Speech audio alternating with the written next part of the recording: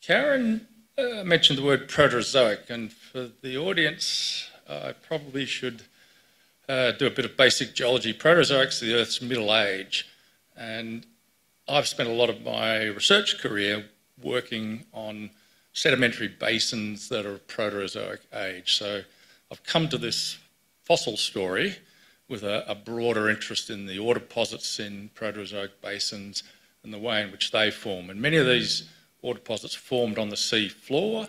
And just as we find in the modern oceans today with hydrothermal vents, there would have been uh, biology, uh, a biota or an ecosystem that existed around them. So that sort of got me interested, the ore deposits got me interested in what might be living around them. And since, I, since the university stopped paying me and I've had more spare time, I've gotten a bit more interested in uh, Proterozoic fossils close at home. So I will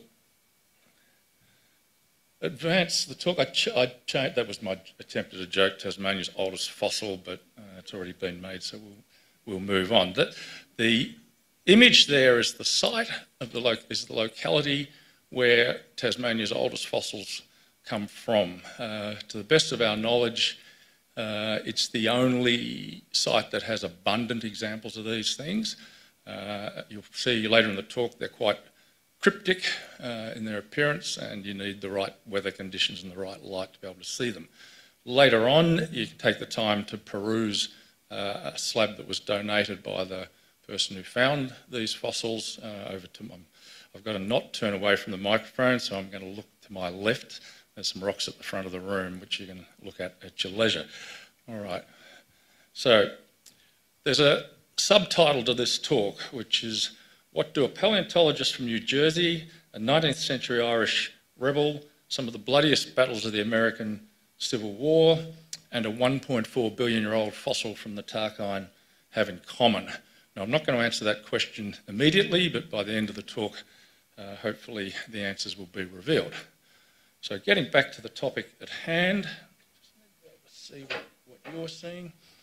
Getting back to the topic at hand, about a little more than a decade ago now, uh, this announcement of the discovery of a very old fossil in the Tarkine made the front page of the Mercury.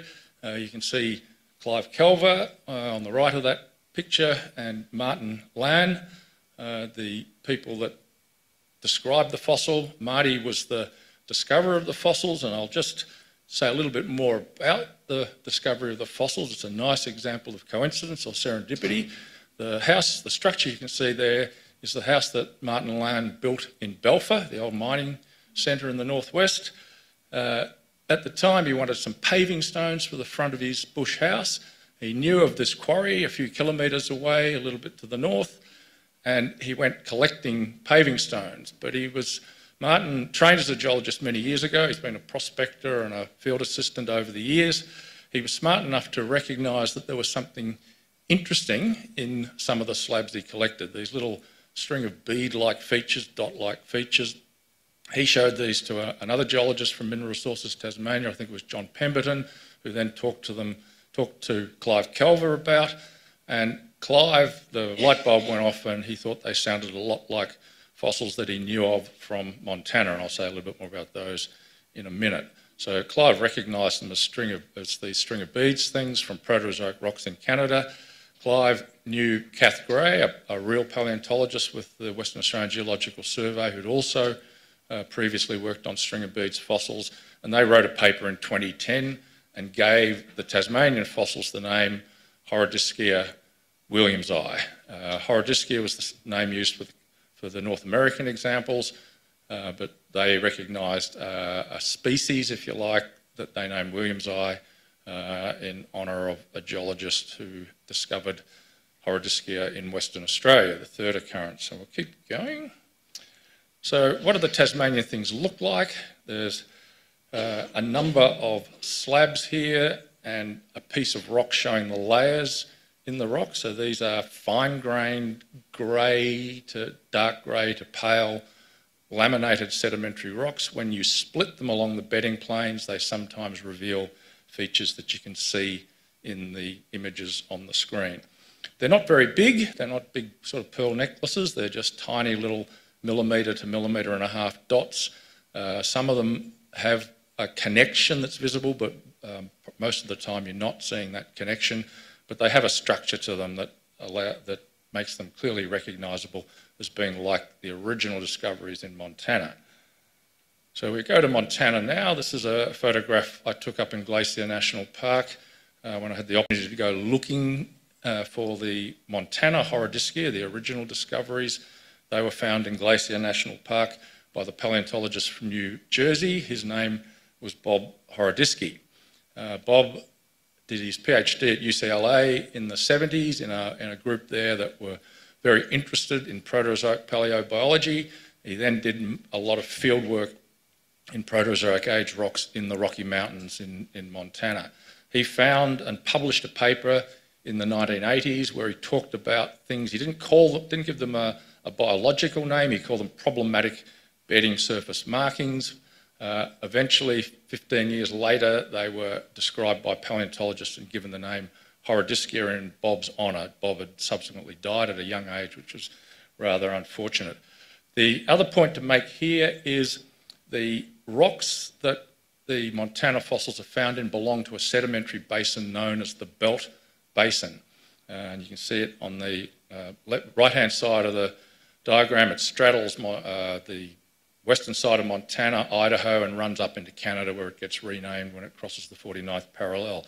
The Belt Basin draws its name from a couple of mountain ranges right in the middle of Montana uh, known as the Little Belt and Big Belt Mountains. And that's a photograph I took about 30 years ago uh, when I had an opportunity to spend a beautiful summer in Montana in the little town of White Sulphur Springs. There is a third occurrence of Horodyskia, and that's in the Bangor Basin in the middle of Western Australia, another Proterozoic basin. Uh, I should have mentioned the Montana uh, were well dated at about 1.4 billion years. When the paper was published on the Tasmanian ones, the best estimate of the age was a little bit more than a billion years, so it wasn't very well constrained. They knew it was older than some rocks that were seven, eight hundred million years old in northwest Tasmania, but there was no direct dating of the Tasmanian examples. The belt basin ones were well constrained at about 1.4 billion years, and the Western Australian ones shown here, again, are not particularly well constrained. They're probably older than a billion, but they could be as old as 1.4. So at the time that the, the Tasmanian examples were published, I had uh, a student who was doing honours, and in an honours project, he did uh, research to try and narrow in and get a better age for the Tasmanian examples. Before I talk about how that was done for, for the audience, I want to talk a little bit about geologists and how we think about time and, and why this is important. Uh, so geologists in the audience can just doze off now. They've learned, all, they know all this. But there's something called the geological timescale, which is in arguably geology's greatest contribution to modern scientific thought. And the development of the geological timescale really began uh, back in the, in the early stages of the Enlightenment, before the biologists got in on the game with Darwin and evolutionary theory, before the physicists had any idea that the universe was 13.8 billion years old. So geologists were ahead of the game when it came to thinking about deep time. And arguably, it started with the recognition by people like William Smith in, in England and Cuvier in France that certain rocks had characteristic fossils would be found in them. And these fossils, not only were they character, characteristic of certain rocks, there was a sequence and, a, and, patterns in the distribution and changes in these fossils. And that allowed William Smith to produce the first geological map that uh, looks, for all intents and purposes, like a modern geological map. He produced a map of England uh, that was published, I think, in 1815 by the Geological Society. And essentially what you're seeing there are different colours of different age rocks based on their, their characteristic fossils. And paleontologists refer to these as index fossils. And that allowed the development of a timescale like the one you see on the left-hand side of the, of, of the right-hand side of the uh, picture over there. So this is the geological timescale. It's got some pictures of or organisms you might recognise, dinosaurs in the Mesozoic, humans not till much later on, trilobites back in, in the Paleozoic. So uh, a sense of time and sequence of rocks, that if you've got fossils and they're the right fossils, you can nail down very narrowly the age of a sequence. And that's been refined over the years to something we call the geological timescale. And it's very granular. For the last 540 million years, back to the start of the Cambrian era, uh, when there was this explosion of life in the oceans, we can use fossils to subdivide the uh, geological record down to uh, uh, a precision of only a few million years in many cases. So the details on that don't matter, but you can see by looking at the uh, right-hand side of the, each, the left-hand side of each of those columns that there's a lot of detail beyond things simply Mesozoic, Paleozoic, Cenozoic. But that's only part of the story. If we look at the entire geological record, the age, uh, going back to the age of the Earth, there's another 4 billion years of Earth's history, and it's 88% of Earth's history, in fact, that we don't have fossils that are good enough to construct a granular timescale. So how is it that this has been resolved in the, in the 20th century, more often in the latter half of the 20th century? Well, with the recognition of radioactivity and radioactive decay uh, in the late 19th century, it became apparent that radioactivity and radioactive decay could be used in, in minerals that are radioactive, could be used as little clocks, chronometers that yield the age, in the right circumstances, will yield the age of the minerals in the rocks. So that, that time scale, if we just go back to it, is labelled with numbers in, in millions of years. And the numbers, the numerical ages of rocks are derived using techniques of dating a whole range of different minerals that preserve the daughter products of parent radioactive isotopes or elements in those minerals.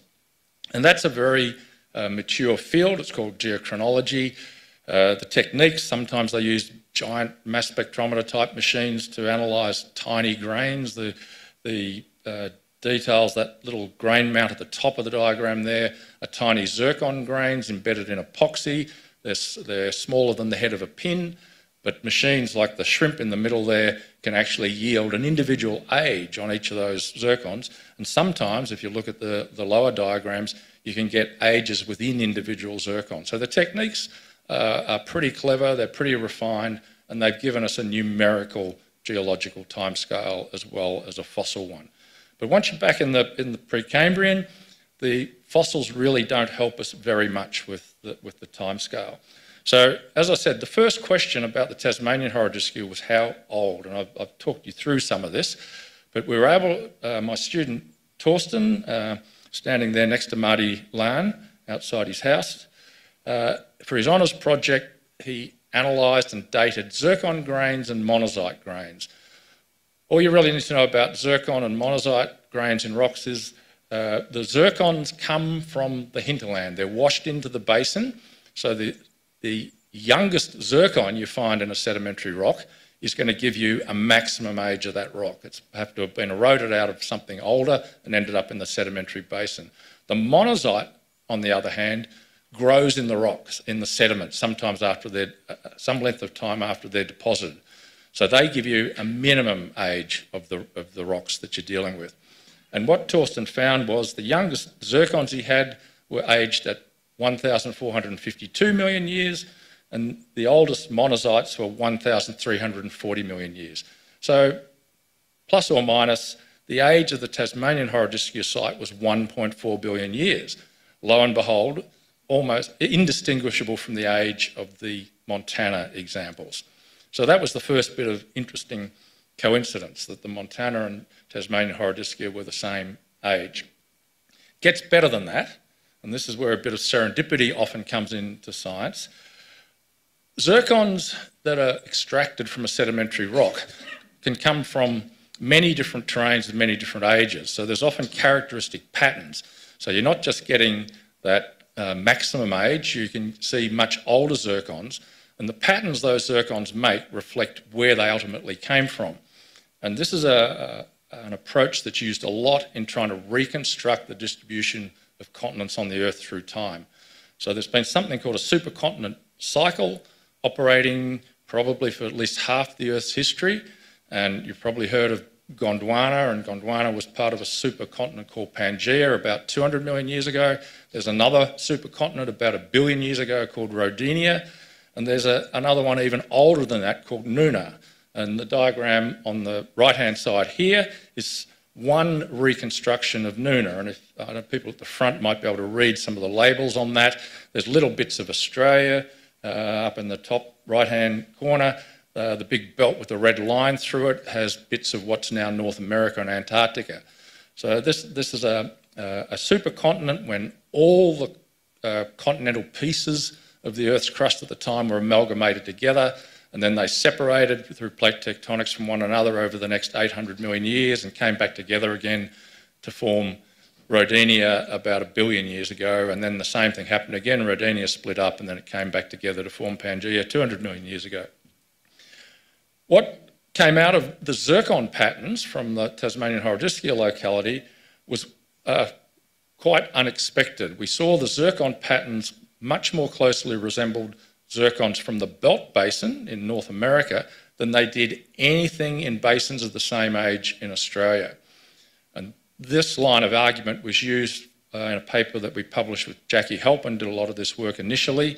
Uh, she wrote a paper that argued that this northwest corner of Tasmania rightly belonged 1.4 billion years ago as a little piece of North America and it's floated off over the, over the eons, moved around, and eventually came to rest quite out of context. It's like nothing else in Australia. Uh, none of the older rocks in Australia came to rest in northwest Tasmania. So a bit, of, bit of serendipity, we got a lot of mileage out of that. The work was, was followed up by a very clever student of Jackie's called Jack Mulder, uh, and, he's, and, the, and he's made some major contributions to what's called continental reconstructions back in the Proterozoic. Uh, that's a, a, diagram. So the green, that, that's another reconstruction of Nuna. So that's a black and white diagram of the whole supercontinent. So maybe something, there wasn't as much continental material then, but maybe something the size of Asia, uh, all the blocks of the Earth together in Nuna. And Australia is up in the top left-hand corner of that diagram, tilted on its side. You can sort of see the outline of the North Australian coastline. But the two, the green and the red blobs represent where uh, Montana and, and, Idaho and Canada, the Belt Basin were, and the red represents where the Western Tasmanian Rocky Cape Group, as its name would have been at the time.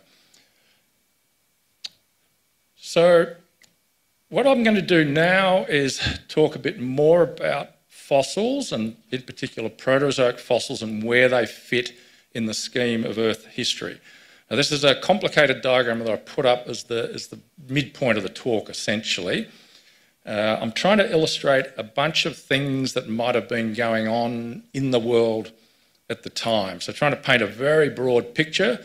Uh, there's a, a lot of effort being put into trying to understand the nature of the planet in Precambrian times. Uh, it's fundamentally tied to the development of an oxygenated atmosphere that's favourable for large and complex life. So there's a biological story that relates to a geochemical story of how the Earth went from in the Archean uh, with a carbon dioxide, methane atmosphere, nitrogen atmosphere, that if we jumped in a time machine and stepped out, we'd be dead within seconds, to a planet that's equi- equitable for life as we know it. And to the best of our knowledge, the Earth's been pretty favourable to complex organisms for at least the last 580 million years or so, and that's marked by the first animals on that diagram. And there's other things going on there. There's a couple of important labels. There's something called LECA and FECA. LECA is an acronym for the last eukaryotic common ancestor. We're all eukaryotes. Our, our cells are complex and we're multicellular. We've got lots of different types of cells before multicellularity and animals, there would have been organisms that had simpler cells. Maybe algae are examples of a large group of organisms that has, has much simpler cells. But they're all, they're all eukaryotes. They have internally the cells have a complexity. And before eukaryotes, the world was dominated by simple prokaryote organisms, archaea and bacteria, that were basically just sacks of loosely organised chemicals and DNA. So in the middle column there, I've used the same colours, but I've sort of labelled a broad classification of a prokaryote world before maybe two billion years ago. Uh, a protist world, simple eukaryotes were arguably around and perhaps abundant in the oceans. And then our world, a world that if you jumped in a time machine and went back 530 million years and went for a swim in a Cambrian ocean, you could probably have a feed on trilobites. There wouldn't, you'd have to wait a few tens of million years before you could go fishing. But nonetheless, you'd be breathing and happy and enjoying the scenery on a, on a seafloor that had some similarities to what you'd see in the modern world. There's uh, the last label I want to make a point about there. There's something at around 2.3 billion years ago that I've labelled in blue. Uh, it lasted for a couple of hundred million years. It's called the GOE, the Great Oxidation Event. So something happened around 2.3 billion years ago that there was a huge spike in the amount of oxygen in the atmosphere, and it probably relates to the evolution of cyanobacteria, and that's labelled on that diagram at about 2.7 billion years ago. Uh, it took a while for the cyanobacteria to make enough oxygen, photosynthetic organisms to make enough oxygen to overcome all the uh, reduced components of the surface of the Earth. But Interestingly and unexpectedly, after that 200 million year jump in oxygen, the levels of oxygen in the atmosphere seem to have dipped precipitously again for perhaps another billion years. And that's sometimes referred to as the boring billion, but it's actually the time period that I'm going to be emphasising for the rest of the talk, and it's the time period where our Horodyskia existed. Uh, now, the boring billion and Indrani Mukherjee, one of the other people that have been working on the Horodyskia, uh, she's been fighting a battle, as, as have I, to not use the term boring billion. It's actually quite an interesting part of Earth's history. Indrani likes to call it the brilliant billion, but I'm not quite sure if I'll go that far. But we can make up your own mind at the end of the talk. So you will see this red star of the last eukaryotic common ancestor. That's the last, organi last organism that we are descended from that on a, on a continuous line. So I've zoomed in on the Proterozoic now. Same, same colours. We've got animals appearing 540, 50, 60 million years ago. You'll probably be familiar with the Ediacaran assemblages from South Australia and elsewhere, about to be declared a World Heritage Area. Uh, we've got a period in Earth's history I've labelled, there's plenty of animals, uh, and somewhere before perhaps 2.1 billion years ago, no eukaryotes, this prokaryote world. Uh, so just before I walk you through some of the examples of fossils from this boring billion or brilliant billion, the rhetorical question is how do you recognise a eukaryote in the fossil record? It's all right, we can look at cells and work it out for living organisms. It's harder in the fossil record, particularly if you're dealing with small things. No one would argue an elephant, it's big and it's complex, it's a eukaryote. If you've got something that's small and complex, it's uh, as a fossil, it's probably a eukaryote. If you've got something uh, that's large and simple, that's when it gets argued. Small and simple, who knows? It could be a prokaryote, might be a eukaryote, no one's ever going to know. But large and simple, we get into some serious debates. Some bacteria are visible to the naked eye, can grow millimetres in length, some sulfur bacteria they're prokaryotes. So getting back to the fossil record, if you find something large but simple, it doesn't necessarily mean it's a eukaryote. So what I'll do now is we'll walk through the fossil record, starting uh, with younger examples of Proterozoic fossils. We'll go past where our Horodyskia are to the oldest possible eukaryote fossil. So this gives you context and perhaps emphasises why the Tassie Horodyskia are potentially very significant. So these are some, this is an example of something called a vase-shaped microfossil. Uh, it looks, for all intents and purposes, like living testate amoeba. Vase-shaped microfossils are known in the rock record for the last 800 million years, the last 0.8 billion years, and they undergo some diversification around 0.8 billion years ago. So, yep, these are, these are eukaryotes. They lived in the ocean doing the same things that testate amoeba do today, probably. You go back a bit further, and this is a famous, the, the, the organism in the middle, or fossil in the middle, is a famous fossil called Bangiomorph. that a group of workers uh, that Nick Butterfield is basically the, his research group have argued for quite a while now represents the oldest crown eukaryote organism. It's something that looks exactly like some modern red alga. Red alga still exists today, so you can trace a lineage directly all the way back to Bangiomorph at a billion years ago. So red alga a billion years ago, large prokaryote. There are some fossils in China now that push green alga back to about a billion years, and they're illustrated on the right-hand side there with an example that was published a couple of years ago. So by a billion years, there's large eukaryotes that probably can evolved into things we know today. At a micro scale, there are things that have enough complexity, ornaments. Uh, these, these things are the size of a pinhead or smaller. The, about 20 years ago, a lot of uh, press came out of the 1.4 billion year old Roper group fossils, and they were generally accepted as the oldest eukaryote fossils. But since then, there's been discoveries in China, the Ruyang group examples that push these uh, Spinos is what they're called, back to 1.6 billion years. So it looks like we had eukaryotes thriving around 1.4, 1.6 billion years ago. What we don't know is were they dead end branches on the tree of life?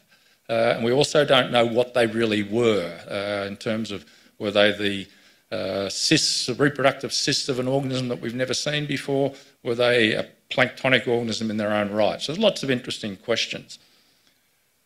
There are, however, some big things in this time period of 1.6 to 1.9 billion years ago, and the one that gets quoted a lot is, has been given a name, Grypania spiralis, and the first example of Grypania was found in, the, in belt basin rocks, but it's also been found in older rocks in Michigan, uh, the Negaunee uh, Formation, at 1.9.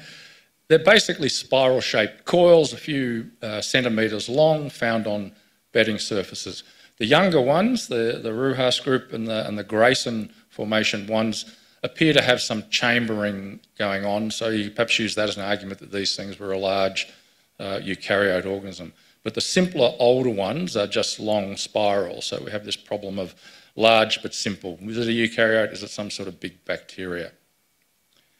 Things get even more interesting and exciting. This is a discovery that made the front page of Nature, and I think about 2011, of some blob like features from Gabon that were 2.1 billion years old. They had uh, an internal structure to them, arguably, and there's been a bit of work subsequently in a more recent paper published examples of tube like uh, features within these assemblages. So the El Albani group uh, based in, in France would be arguing, would perhaps they, ha- they would be arguing these are some of the oldest complex organisms. They don't say eukaryote and they don't say animal, but they're probably implying eukaryote from the level of complexity. It's interesting to note that this is back around the time or just after the Great Oxidation event. So in some ways, it's not nonsensical that there might be experiments going on in eukaryotes at this time, but whether they get big like this is, is more problematic. So, keep going. The scientific debate gets even more interesting, and there's another group led by Stefan Bengtsson in Sweden have been working on some fossils from India that they argue are also a red alga, uh, something called Ramathallus. It's in 1.6 billion year old rocks. If it really is a red alga, it pushes that last eukaryote common ancestor older than what the Butterfield research group would like. Butterfield doesn't want LECA much older than a billion years, but if this is a rhodophyte, it pushes LECA back beyond 1.6.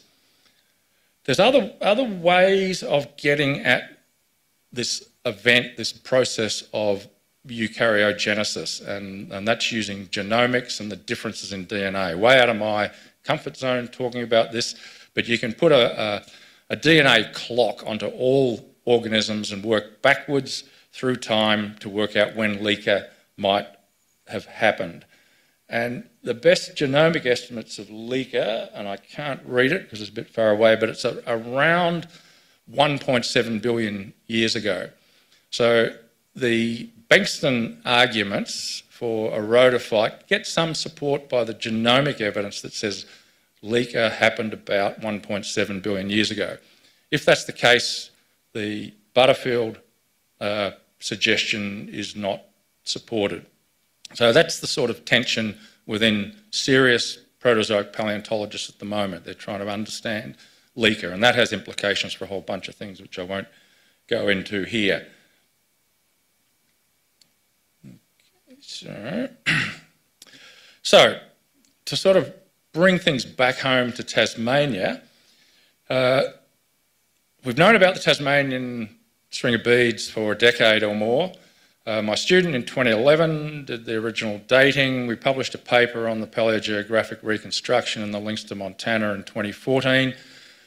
Since then, not much has happened except in the last year or so, Indrani Mukherjee had a little bit of research money left over. So last November, we revisited the quarry, the, the, the what I'm now going to refer to as the Laan fossil locality, uh, in recognition of the Marty Laan's discovery of the fossils all those years ago. We went, we had the ability to go back and do some more systematic sampling at the Laan quarry. So to finish things off, I'll show a couple of slides with some of the uh, samples, some of the better things that we found, and hopefully convince you there's a bit more to be seen at the Laan fossil locality than just the simple string of beads. So here's the group of us frothies, so friends of Tasmanian Horodyskia is what we call ourselves. Uh, and we're at the quarry. Now, the quarry, as you saw, is a pretty bleak, black, wet looking place. And one of the challenges we have in being pretending to be paleontologists and collecting samples is being there at the right time. I've made about 10 visits to the quarry over the years, and it's only been on a couple of occasions that the light's been just right or there hasn't been raining that you can actually see these things. So take the time if you're interested to have a look at the examples at the front of the room and you'll sort of see there, they can be pretty cryptic. But I'll show you some examples of some pretty cool things we've been finding. Again, I'm looking at my screen, I'm not seeing much in the way of detail. I'm just going to step aside.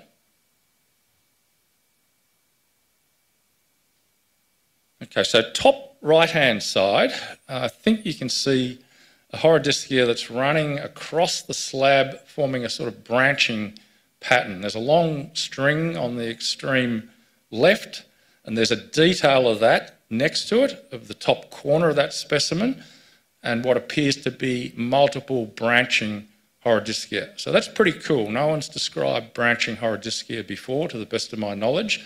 Whether they're really branching or individuals that have ended up on top of one another, we don't have answers to that yet, but very exciting nonetheless.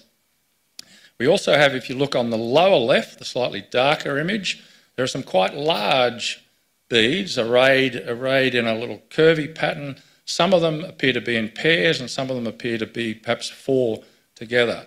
So this is not your characteristic string of beads, neither in size nor form. So that's kind of cool as well.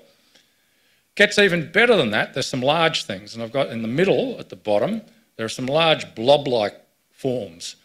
No idea what they are, what they represent. We've got a range of ideas that are possible. They're fairly nondescript looking, but they're a feature within the rock that on occasions even are associated with horodyskia. If you look on the right-hand side of the picture there, you can see a Horodyskia string on the left of that image, but there's a number of these little blob-like forms, and they're quite large. These are macrofossils. So that's uh, a small set of some of the more interesting stuff we collected.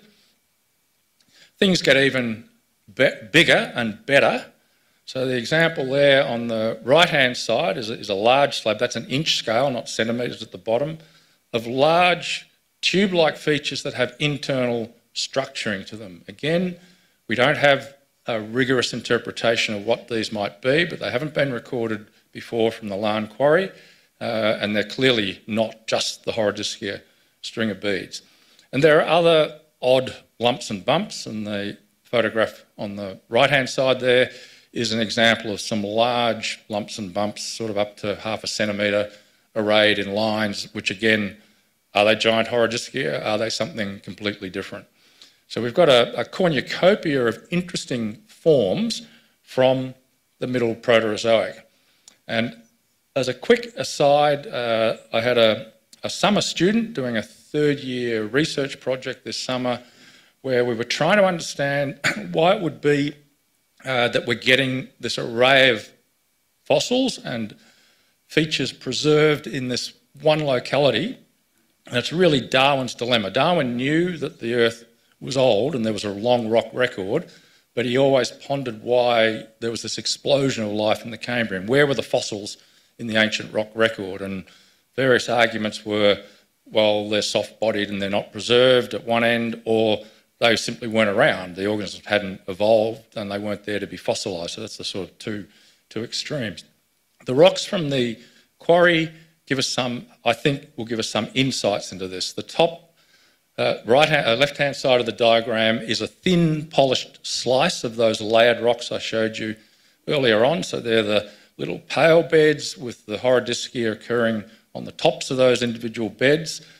When we look at the textures in those pale beds, the tops of them are very diagnostic of what we recognise from things we call microbial mats. And the, the colour photograph there is out, taken out at the Uni Farm in Richmond of leathery microbial mat that's grown in the intertidal zone. So that's, although these are fine, muddy, soft sediments, if I gave you a bucket of mud, it wouldn't be strong enough to preserve anything, hold anything binding that mud together with a prokaryote microbial assemblage has the potential to turn it into a mat-like substrate that in turn may be a mechanism for preserving these soft-bodied early protist eukaryotic organisms. So that's another direction our research is going to potentially take the Laan fossil locality assemblage. Ultimately, what we'd like to be able to do in a, in a big picture sense is get an understanding of what the seafloor was like 1.4 billion years ago, what the Proterozoic world, ocean world, marine world looked like. And this is an example I found in a, in a weird paper published in the Iranian Journal of Geology, uh, reviewing Proterozoic fossils. And I think it's a very engaging uh, panorama of a seafloor. You can see it's got our string of beads on the left-hand side the bottom. They've, they've made them sort of giant pearl size, so maybe they were, maybe they weren't. There's a bunch of other things in there. There's red algae and green algae. Uh, off in the distance, labelled number one, are these things called stromatolites, which some of you may have heard of, but these would be microbial features constructed by prokaryotes, almost certainly not eukaryotes in deep time, and a, a bunch of interesting things. Now, this is, this is great, but what they're really doing here is pulling together stuff over that whole seven or 800 million years that I've been describing to you. So from a, a factual reconstruction point of view, it's about as good as this picture of early hominids created by Hanna-Barbera in the 1960s. So I think, you know, we've got some way to go and the Horodyskia location, the Tasmanian Horodyskia, because of the diversity, because we understand the geological context well. I should have mentioned the sedimentary rocks there tell us that we're in a position on an uh, outer shelf below the effect of strong storms. So it's as if you uh, got in a boat and went well offshore in Tasmania today, but you stayed up on the continental shelf in deep water. So it's a, it's a fairly specific environment that we infer from the sediments of the Rocky Cape Group. So a whole bunch of stuff come together that tell us a lot more about the, the setting for the Tasmanian examples than uh, what's been known before or what's even been attempted for a lot of these other Proterozoic fossil localities. So I said this was also a talk uh, that has historical serendipity or coincidences. So I'm going to answer the rhetorical question at the start. I, I suspect a number of people here know of Thomas Francis Meagher. If you're of Irish heritage like I am, he'll be a hero. Thomas Francis Meagher was one of the young Irelanders involved in the 1848 abortive, almost comical uprising. The young Irelanders uh, were duly tried for their um, upstartness by the British, and they were all sentenced to be. Uh, and actually, it's quite interesting. It's a retrospective law the British introduced in order to deal with these people. I'm not sure if this had actually happened for a long time, but I think seven of them, seven of them were sentenced to be hung, drawn, and quartered, if you like, in 1848. The public outcry was such that the sentences were commuted. And Meagher and some of his colleagues ended up in Van Diemen's Land to be here for the rest of their natural lives. But Meagher didn't stay very long. He was pro- a prominent Irishman.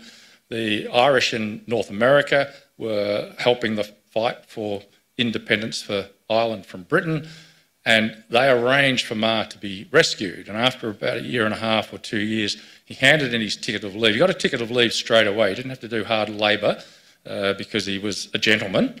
And I think he met Governor Franklin, whoever it was at the time, who said, That's fine, as long as you promise to stay in your cabin on Lake Sorell, uh, you'll be fine. But he, he did a runner and got himself to Waterhouse Island, where he waited, I think, for 10 or 11 days before an arranged American ship rescued him and took him to New York in 1852, where he became sort of uh, fated by the Irish in New York. He made a living giving speeches for the Irish cause. Around the time of the American Civil War, he, he was tapped on the shoulder to form a brigade for the Union forces, a famous fighting 69th of the Irish Brigade. And he saw uh, action, or his brigade saw action at a lot of the major battles of the Civil War, suffered horrific casualties. Meagher was blown off his horse and wounded a couple of times. Uh, he had a bit of a reputation. His days in Ireland, a lot of the young Irelanders met in the pubs in Dublin, which was probably appropriate and probably reflected in how organised they were when they mounted their rebellion. But he had a reputation by that stage as a, as a drinker, certainly by the Civil War times. And by, I think, about 1863, before the war was over, uh, President Lincoln, he, he, was, he was burned out. He probably had PTSD by any definition. He was burnt out. Lincoln said, All right, in, in recognition of what you did, we're going to give you a tough job. You're going to be the secretary, uh, colonial secretary for the state of Montana. So we have a Meagher Montana connection. Meagher went to Montana, where he was there for a couple of years, and again, that's an exciting story in its own right. And why there hasn't been a HBO or Netflix series on Thomas Francis Meagher has rather escaped me. It's such an amazing life. But after two years in Montana, he'd made a lot of political enemies uh, and he was drinking a lot. And unfortunately, in the summer of 1865, he fell off a riverboat into the Missouri River and drowned at the young age of 54. And the, that's a broad connection that links Meagher and Tasmania and Montana and our Horodyskia. But it gets a little bit better than that. Remember, I said the Belt Basin is the name of the basin where the Montana Horodyskias come from. The Belt, Belt Basin is named for the Little Belt and Big Belt Mountains, which happen to be in Meagher County, Montana, where I spent a wonderful sabbatical one summer in the late uh, 1990s. So that's the, that's the end of the story. I've squared the Meagher circle. I hopefully convinced you that the Tasmanian Horodyskia and the Laan fossil locality uh, are very significant in the scheme of Proterozoic paleobiology and maybe even the origin of all eukaryotes, of which we're part. Um, and I'll leave you with a little bit of doggerel or poem that I manufactured from something that you might recognise. I'm very happy to answer questions as best I can.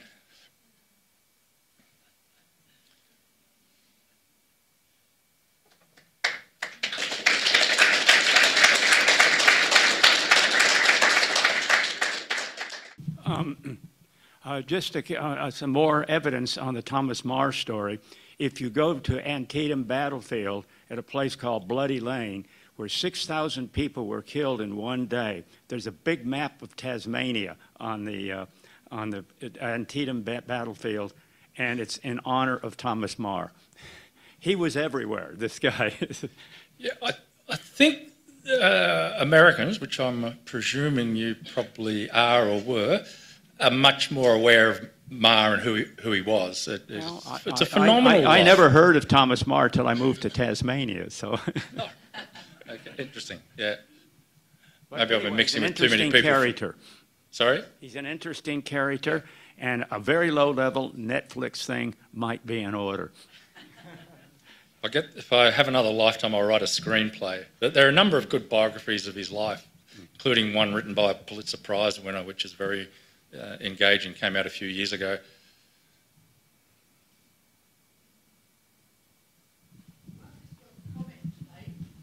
I've hardly understood a word, haven't I? I've hardly hardly understood a word, but I'm so excited because I live on the Tamar River, and when I go to the Tamar River, I see all this mudstone, and I'm sure there's some fossils in there, so I'm going to go back next week with my trowel and dig some up. Good. I've, I've inspired someone to do that. That's a, a big tick, a success. I'm happy. I'll sleep well tonight.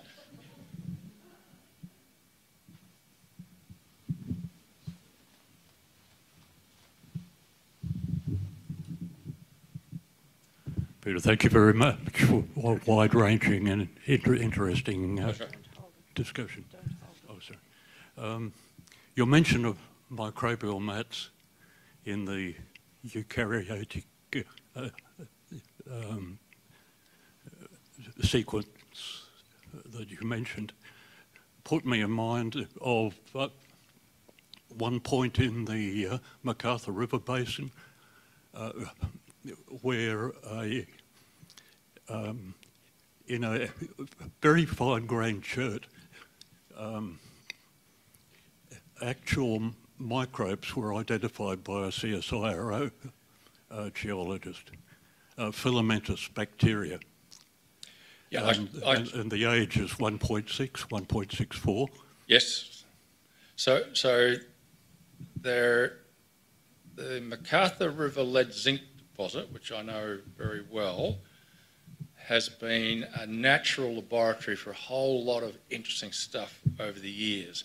So, what you're referring to papers in the late 70s by Dorothy Oehler and probably Malcolm Walter and co-workers that were describing uh, microfossils in black chert that's intimately associated with the lead zinc mineralisation. And that's, in essence, that's how I got into paleobiology and the Proterozoic, reading about that stuff as a young graduate student. And later on, when I went to do, when I got a chance to do field work in the McArthur Basin, seeing all the stromatolites, you know, there's, there's a, a life signature. And again, over the recent decades, there's been this revolution in understanding of how the Earth went from this methane, carbon dioxide, poisonous planet to what we live on now. And you know, when I went to uni, it was very simple. The GOE came, the world's great, and evolution kicks off. But it's way more nuanced than that. And that's the boring billion comes into this too. That if if eukaryogenesis really did happen 2.1, why on earth did it take another billion or so years before animals evolved? It took 700 for uh, algae to evolve. That that doesn't make a lot of sense in the, from what I know, and it's not a lot, but the biologists will say that doesn't make a lot of sense in the way evolution operates. It's sort of a constant mutation, selective advantage. So there shouldn't be these gaps. So there's a, a big, there's two, there's a dichotomy between the way people think about the world. It gets back to Bengtson wanting LECA to be at a billion. That sort of compresses everything time-wise, makes a bit more sense to a biologist. But as a geochemist, and I've worked with people and I've published papers about this aspect of why there was a seeming delayed rise in animals. Uh, and the geochemists have a worldview that it's to do with the atmosphere ocean system and how it became ventilated. It went up, then it went down again. It took a long time for that ventilation to take place. And that has implications for things like the phosphorus cycle, for instance, how much iron's in the ocean. Everything's, the chemical cycles are connected and productivity is ultimately connected to that. So there's a bunch of stuff out there which, you know, it's sort of beyond my current narrow interest, but I've been interested in over decades and it, it all, it all talks. There's silos, you know, economic geologists or deposit geologists have a silo to biologists and it's breaking these down, I think, is important. Sorry, I'm heading off in another lecture. You, another rant. Thank you, Peter. Just a just a quick one from Paul Lennox, who's just um, okay. yeah, who's online for us. Um, thanks for an excellent talk, Peter. Uh, fascinated to hear about the age of these rocks I examined for the Geological Survey of Tasmania in the late 1970s. Paul Lennox. wow. Okay. Did you see? Oh, I, don't know. He's, hearing me, I suppose. Did, He's, he's hearing you. He's seeing you. So, how many fossils did you find? Because Martin Laan was always had his eyes open for odd things, and as any geologist knows, there's always odd things in rocks. It's making that connection to being biological. And, and, and in a way, this, uh, I suspect the answer is no, Paul, but in a way, I look on this as like the uh, didn't- Hitchhiker's Guide to the Galaxy, the spaceship that was parked at, parked in Hyde Park. You know, everyone know it had a, an invisibility cloak, but it wasn't an invisibility cloak. It's just everyone knows there aren't spaceships in Hyde Park. So when Paul was working on those rocks 30, 40 years ago, everyone knows there weren't big fossils, big eukaryote fossils in mid-Proterozoic rocks, for the most part. So He, he says he didn't find any. Mm. Brilliant. Uh, do we have any more questions from the floor? Yeah, okay.